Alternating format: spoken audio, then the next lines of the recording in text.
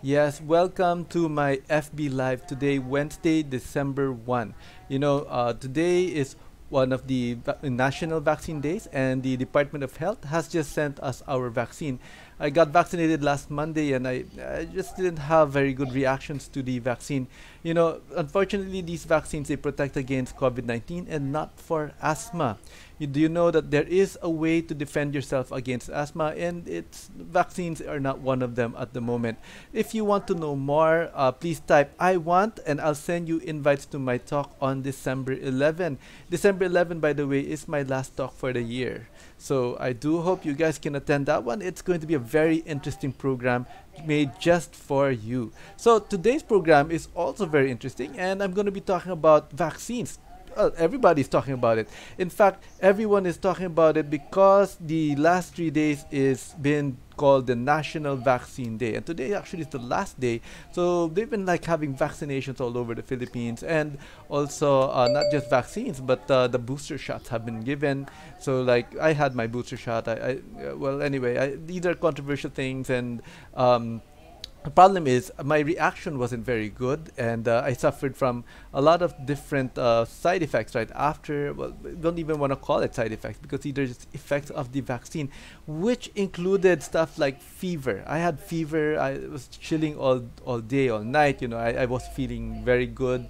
Uh, I had body pains all over my eyes and my muscles, my joint pain, you know, and I was also suffering from uh, from fatigue. You know, I had a meeting Monday night, and everyone was telling me during the meeting, "Hey, Charles, you look so so tired." And I said, "I didn't even do anything. I just had the vaccine. I I, I just looked so tired. I looked at myself in the mirror uh, in the in the app, and I said, "Yeah, I do look really tired, don't I?"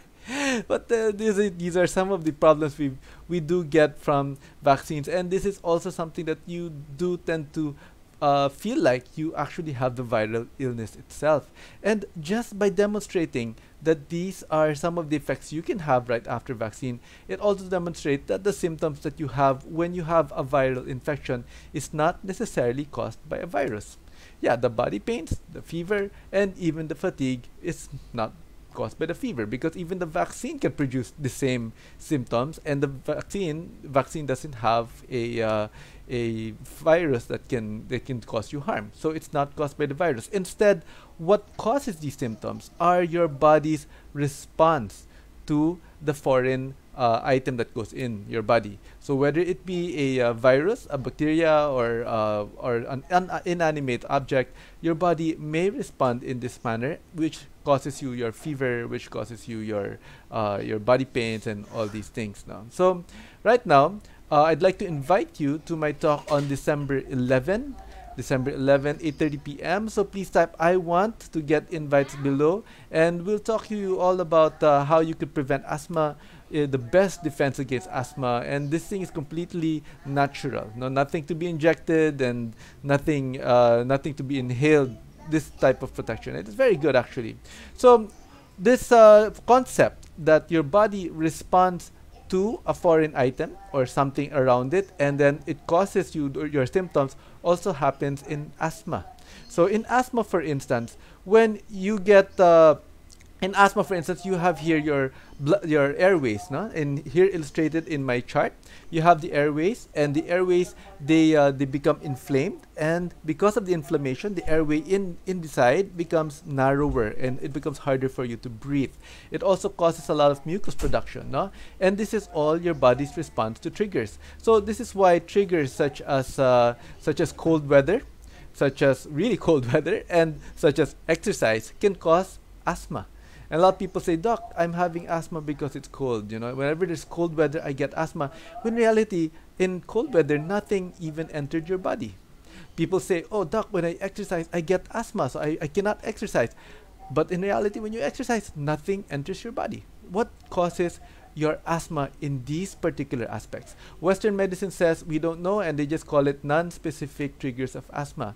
However, this phenomenon was uh, studied in depth by a Russian doctor called uh, named Dr. Buteyko and the 19 way back in the 1960s way, way back in the space age wars uh, space race and uh, he was part of the Russian team of doctors who were sending uh, cosmonauts to to outer space. And what they found was that during an asthma attack and right before the asthma attack, there is a change of the breathing pattern.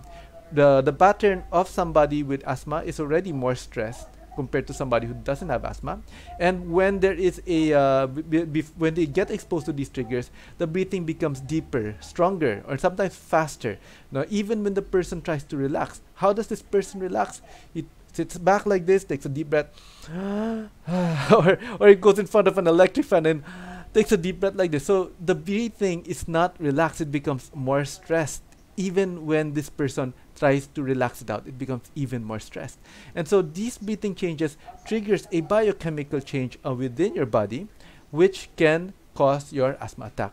So Dr. Buteyko found a way to reverse this, and this technique, this method has been called the Buteyko method, which I teach in my breathing camp today. So the breathing camp is one of the best ways to learn it. It's a it's a program that's been tested in many different uh, countries worldwide, and uh, it's also taught now online, so you don't even have to leave your house when learning it. In the Buteyko method, in the breathing camp, I will teach you how to listen to your body to be able to respond to the changes in your body using your breathing. And this way, it can protect you from asthma. I sincerely believe the Buteyko method is an ideal way to protect you from asthma. That's why I continuously teach this to everybody. You know, uh, I used to have asthma. I used to have all these medicines. I mastered these medicines, and the Buteyko method has helped me uh, become drug-free and have no asthma. And the other symptoms that come along with asthma have disappeared as well. So again, your best defense against asthma is not a vaccine.